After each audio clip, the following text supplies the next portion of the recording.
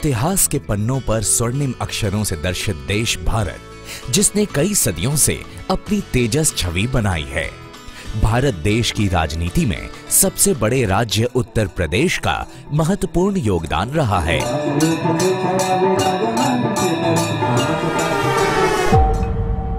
पश्चिमी उत्तर प्रदेश के रुहेलखंड क्षेत्र को यहाँ की राजनीति का प्रमुख अंग माना जाता है।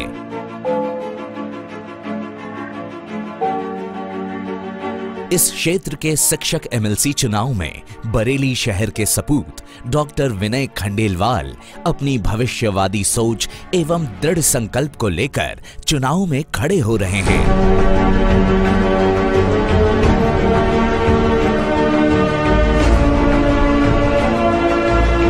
डॉक्टर विनय की युवा काल से ही समाज एवं जन कल्याण जैसे विषयों पर विशेष रुचि रही है।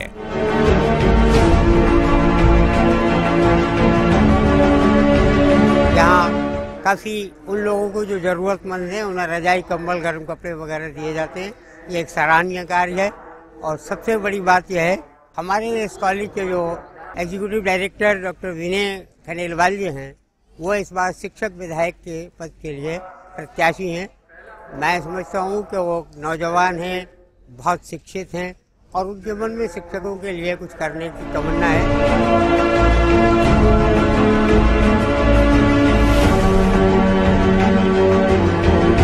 M B M com M एवं रुहेलखंड विश्वविद्यालय से पीएचडी की डिग्री प्राप्त एवं विलक्षण नेतृत्व क्षमता वाले डॉक्टर विनय खंडेलवाल का मानना है कि शिक्षा ही एक ऐसी लॉ है जो कुप्रथाओं, गरीबी और अशिक्षा के तमिर को दूर कर सकती है।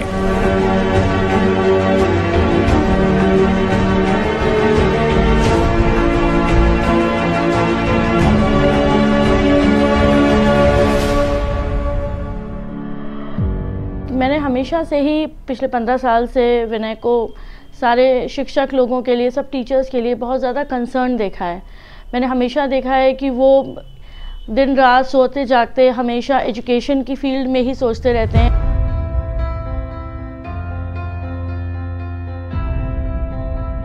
डॉक्टर विनय खंडेलवाल का मानना है कि अगर शिक्षा व्यवस्था व्यवस्थित करनी है तो एक अनुभवी शिक्षाविद को ही राजनीति में उतरना होगा।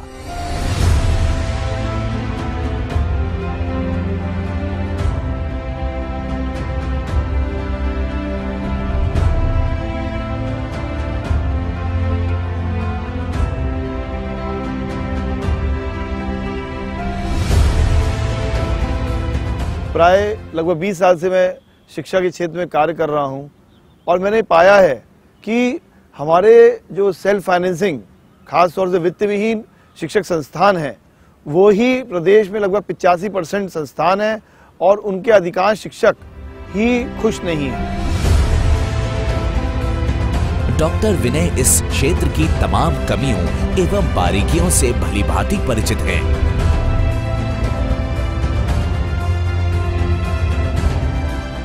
जी एक बहुत अच्छे टीचर हैं। तो जो टीचर्स टीचर्स की प्रॉब्लम सॉल्व कर सकता है। टीचर की समस्या क्या है? जो टीचर की पेंशन की समस्या होती है टीचर की सैलरी की समस्या होती है। टीचर का जो, जब रिटायर होता है, उसका पीएफ और बाकी चीज़ें अपने आप ऑटोमेटिकली क्रिएट हों। इसके बारे में विनय जी का अपना एक अलग ध्यान है कि वो कैसे सॉल्व किए जाए।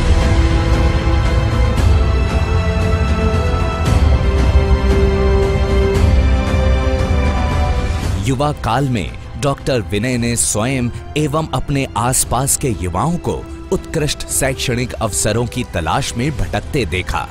इसलिए डॉक्टर विनय खंडेलवाल ने अपने पिता श्री गिरधर गोपाल की प्रेरणा से सन 2001 में खंडेलवाल कॉलेज 2009 में खंडेलवाल कॉलेज ऑफ़ आर्किटेक्ट एवं Prem Prakash Gupta institute of engineering की स्थापना की।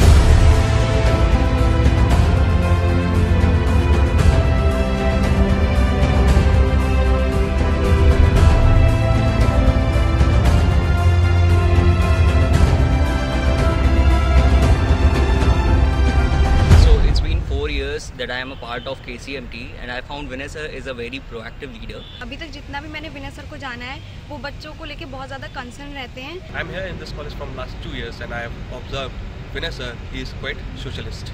It's been seven years I'm working with KCMT Group and I really feel that Vinay sir is a strategist. Uh, what I like most about him is like he is a next level thinker.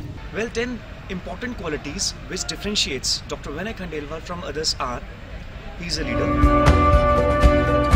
जिसके जीवन का लक्ष्य जन कल्याण एवं साक्षरता हो, वो केवल आरंभिक चरणों से संतुष्ट कहाँ हो पाता है?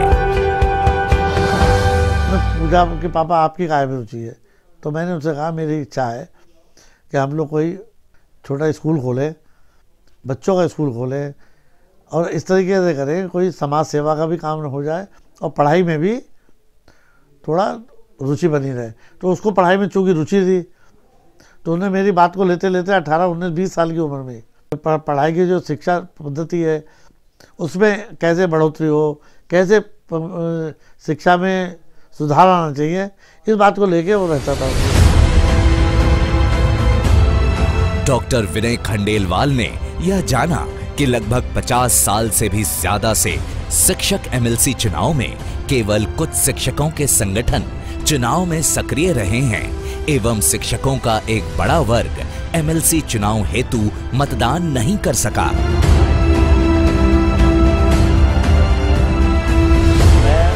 ब्लूमिंगडेल फैमिली की ओर से आशा करता हूँ कि डॉक्टर विनय खंडेलवाल जी इस बरेली क्षेत्र से निर्वाचित हो और इस पूरे क्षेत्र के, स्पेशली प्राइवेट सेक्टर के जितने भी स्कूल्स हैं, चाहे वो हिंदी मीडियम हो इंग्लिश मीडियम हो, चाहे वो सीबीएसई के स्कूल हो, चाहे एसएससी के स्कूल्स हो, वो हमारी समस्याओं को, के निराकरण के लिए विधान परिषद में समस्याओं को उठाएँ और उसके निराकरण में हमारी मदद करें। मैं डॉक्टर विनय खंडेलवाल जी को तब से जानता हूँ जब मैं यूपी टेक्निकल यूनिवर्सिटी का वाइस चांसलर था और मैंने उनको इतना निकट से देखा है इतने सच्चे, ईमानदार और डेडिकेटेड पर्सनैलिटी जब एमएलसी का चुनाव जीत कर आएँगे, मुझे पूरा विश्वास है कि शिक्षा के लिए बहुत अच्छा करेंगे और मेरा पूरा विश्वास है कि सारे शिक्षक उनको अपना मत देंगे। मैं आश्वासन देता हूँ, सर, कि 100 परसेंट सो फिजिली वोट केवल और केवल डॉक्टर विनय खंडेलवाल जी को मिले।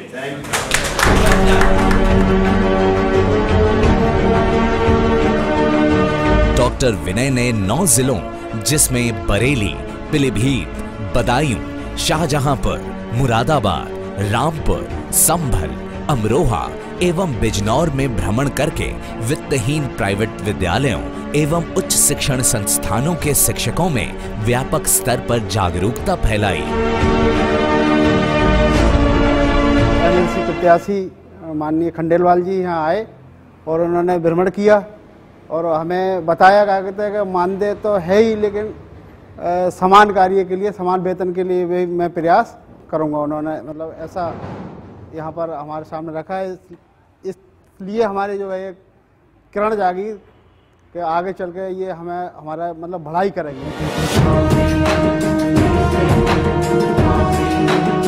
क्या पहली बार हुआ कि इस चुनाव में वित्तहीन स्कूल के अलावा सीबीएसई, आईसीएसई, रोहेलखंड विश्वविद्यालय से संबंधित समस्त degree college doctor APJ Abdul Kalam विश्वविद्यालय से संबंधित सभी engineering management pharmacy college private university private medical college आदि में नियुक्त शिक्षकों को अपने वोटिंग के अधिकारों के प्रति जागरूक किया।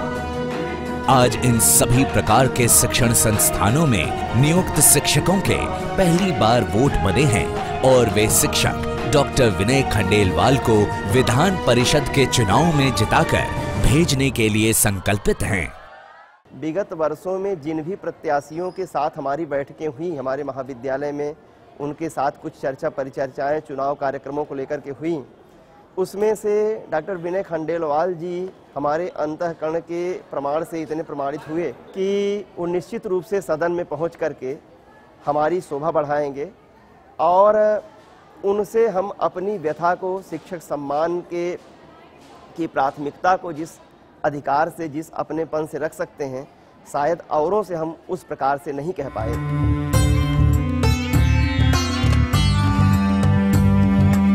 डॉक्टर विनय खंडेलवाल एवं उनका पूरा परिवार आध्यात्मिक प्रवृत्ति का है। इसी के फलस्वरूप उन्होंने बरेली में इस्कॉन मंदिर के लिए भूमि प्रदान की।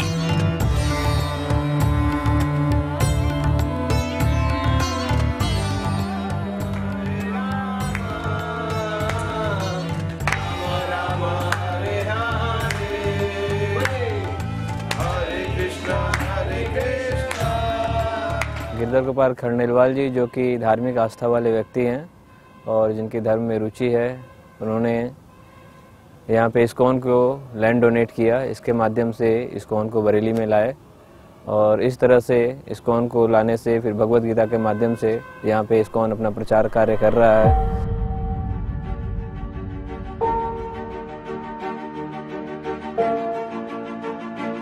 डॉक्टर विनय खंडेलवाल के अथक परिश्रम एवं शिक्षा के प्रचार प्रसार में उनके अनेकों प्रयासों के लिए माननीय राज्यपाल एवं उत्तर प्रदेश के उप मुख्यमंत्री डॉक्टर दिनेश शर्मा द्वारा सम्मान पत्र और केंद्रीय मानव संसाधन मंत्री डॉक्टर रमेश पोखरियाल निशंक जी द्वारा एजुकेशन एक्सीलेंस अवार्ड से सम्मानित किया गया।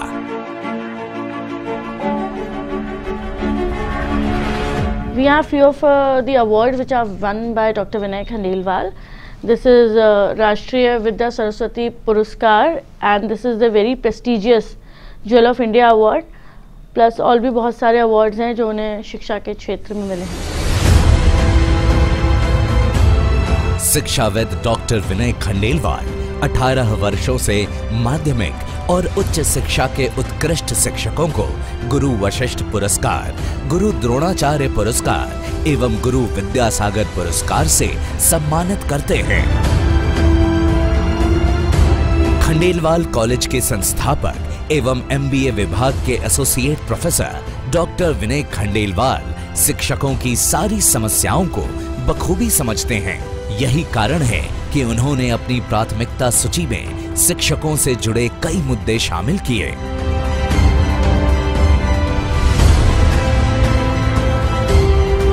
वित्त विहीन विद्यालयों एवं महाविद्यालयों के शिक्षकों को सरकार द्वारा निरंतर सम्मानजनक मानदेय दिलाना। अप्रैल 2005 के बाद नियुक्त हुए शिक्षकों के लिए पुरानी पेंशन व्यवस्था बहाल कराना। सभी शिक्षकों को सरकार द्वारा निशुल्क मेडिकल बीमा एवं जीवन बीमा करवाना। शिक्षा से संबंधित सभी कार्यालयों से भ्रष्टाचार मिटाना। सभी महिला शिक्षकों को अनिवार्य मातृत्व अवकाश दिलवाना। मैंने हमेशा बच्चों को यही बताया है कि जो ज़मीन से उठता है ना तो उसको ज़मीन की कीमत मालूम होती है। तो मैंने सर को देखकर तुरंत जज कर लिया कि अगर एमएलसी के चुनाव में इन्हें पोस्ट मिलती है तो हम जैसे वित्त विहीन लोगों की ये मांग अवश्य रखेंगे कि हम महिलाओं के साथ इतनी प्रॉब्लम आ जाती है कि छः महीने की मेडिकल उन्हें लीव मिलती है गवर्नमेंट में, लेकिन वित्त विहीन का अगर छः महीने की लीव लेते हैं तो उनका वेतन काट दिया जाता है। मैं उम्मीद करती हूँ कि हमारी बात वो संसद में लेकर बैठेंगे और इस बात को ज़रूर अपना विषय बनाएँगे और एक नियमावली बनाएँगे, जिससे कि सर इस वित्त विहीन कॉलेजों की भी एक मानदेय तय किया जाए और हम अपने हृदय से और सोचेंगे और सबको सपोर्ट करेंगे कि सर को ही वोट कीजिए शिक्षक जिला स्थानांतरण प्रणाली को पारदर्शी बनाना, मदरसा शिक्षकों के लिए कल्याणकारी योजनाएँ लागू कराना, सरकारी अनुदानित विद्यालय एवं महाविद्यालयों में सालों से रिक्त पड़े शिक्षकों के पदों को शीघ्र भरवाना आदि, जैसे शिक्षकों के कई मुद्दे। डॉक्टर विनय खंडेलवाल एमएलसी चुनाव में उठा रहे हैं। प्रोफेसरों की समस्या से खुद शिक्षक होने के कारण वाकिफ डॉक्टर विनय खंडेलवाल ने इस चुनाव के माध्यम से शिक्षा एवं शिक्षकों को उत्पीड़न एवं शोषण से बचाने की ज़िम्मेदारी ली है। शिक्षकों के खोए हुए सम्मान को पुनर्स्थापित कराने के लिए डॉक्टर विनय खंडेलवाल ने आगामी एमएलसी चुनाव लड़कर शिक्षकों की सेवा का बीड़ा उठाया है।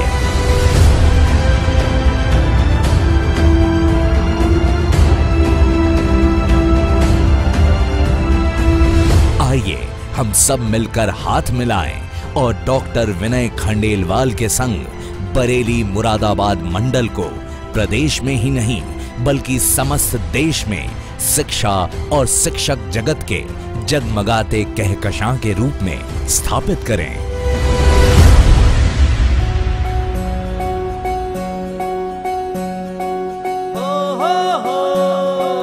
गुरुर्ब्रह्मा गुरुर्विष्णु गुरुर्देवो महेश्वरा, गुरुर् साक्षात् परब्रह्म, तस्मै श्री गुरुवे नमः।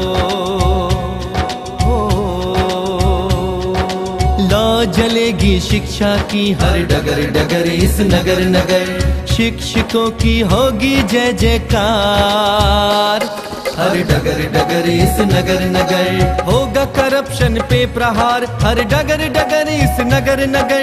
ये सब होगा साकार।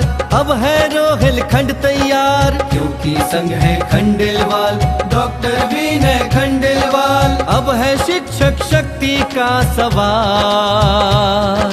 संग है खंडेलवाल डॉक्टर विनय खंडेलवाल। विनय खंडेलवाल। आओ खंडेलवाल संग बदले रोहेल खंड। एमएलसी प्रत्याशी बरेली मुरादाबाद खंड शिक्षक निर्वाचन, विनय खंडेलवाल। आगामी एमएलसी चुनाव में वोट करें शिक्षा को, वोट करें शिक्षक शक्ति को, वोट करें डॉक्टर विनय खंडेलवाल को।